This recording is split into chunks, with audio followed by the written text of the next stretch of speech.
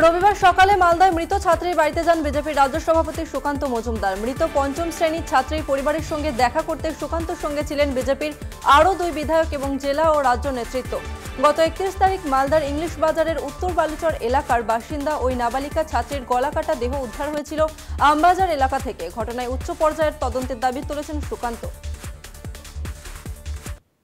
পরিবার যদি সিবিআই তদন্তের দাবি জানায়, তাহলে পরিবারকে লিগাল সাপোর্ট আমরা দেবো।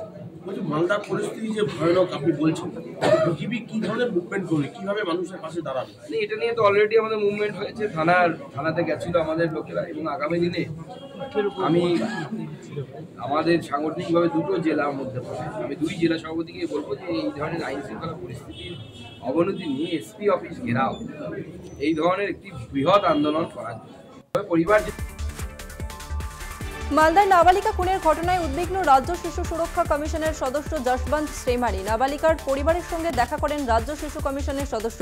তিনি বলেন, অভিযুক্ত সোনু কেশরি তদন্তে পুলিশের সঙ্গে ঠিকভাবে সহায়তা করছে না। তদন্তে একজন মনোরোগবিদের সাহায্যের সুপারিশ করেছে শিশু সুরক্ষা কমিশন। তার অভিযোগ, যে অস্ত্রে ওই নাবালিকাকে খুন করা হয়েছিল, সেটি উদ্ধার করা যায়নি। আমাদের যে অবজারভেশন সেগুলো আমরা জানিয়েছি।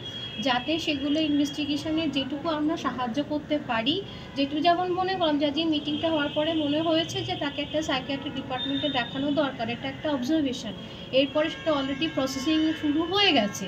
এই এই জাতীয় বিভিন্ন অবজারভেশন আমরা জানিয়েছি। সেইগুলো সাথে সেটা আরও হয়তো ইনভেস্টিগেশনকে সাহায্য করবে। কিন্তু ইনভেস্টিগেশন ইনভেস্টিগেশনের মতো চলছে সেটা আমাদের স্বাধীনভাবে তাদেরকে চলতে দেওয়া উচিত। আমাদের ন্যাড়া হয়ে সাদা থান পড়ে আমরণ অনশনের ডাক দু হাজার নয়ের চাকরি প্রার্থীদের। দক্ষিণ চব্বিশ পরগনার ডিপিএসসি অফিসের সামনে দু হাজার নয় সালের প্রাথমিক শিক্ষক নিয়োগ পরীক্ষায় উত্তীর্ণ চাকরি প্রার্থীরা নিজেদের নিয়োগের দাবি নিয়ে সকাল থেকেই সাদা থান পড়ে অবস্থান বিক্ষোভে বসেন। তাদের অভিযোগ দু হাজার নয়ের প্রাথমিক শিক্ষক নিয়োগের এক হাজার আটশো চৌত্রিশ জনের প্যানেলের মধ্যে এক জনের নিয়োগ প্রক্রিয়া শুরু হলেও আদালতের নির্দেশ থাকা সত্ত্বেও এখনও পর্যন্ত তিনশো আঠাশ জন চাকরি প্রার্থী নিয়োগ পাননি। দু হাজার নয়ের প্যানেল দু হাজার চব্বিশ সাল হাইকোর্টে কোনো স্টে নেই, নিয়োগ দিতে পারছে না। পুরো প্যানেলটা টাঙাতে পারেনি। পনেরোশো ছজনের হয়েছে। বাদবাকি প্যানেলটা অপ্রকাশিত। বাদবাকি প্যানেল এবং নন জয়নিং যে ছশো বাইশ সিট বেরিয়েছে, পুরো নিয়োগের দাবি, যতক্ষণ না চেয়ারম্যান নিয়োগপত্র হাতে দিতে আসছেন, ততক্ষণ আমাদের আমরণ অনশন।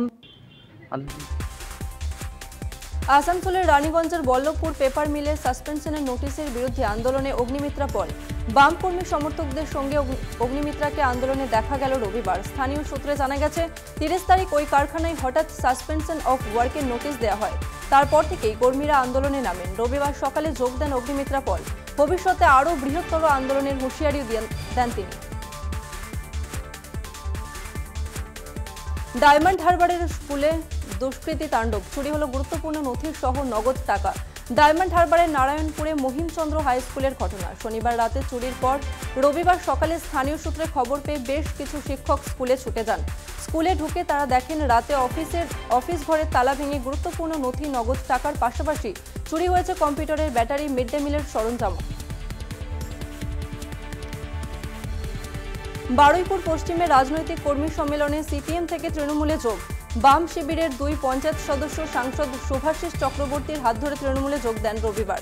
দলত্যাগে দুই সদস্যের নাম আসিফ আলী, গাজী ও সুইটি বৈদ বারুইপুরে নিউ ইন্ডিয়ান মাঠে তৃণমূলের কর্মী সম্মেলনের আয়োজন করা হয়েছিল।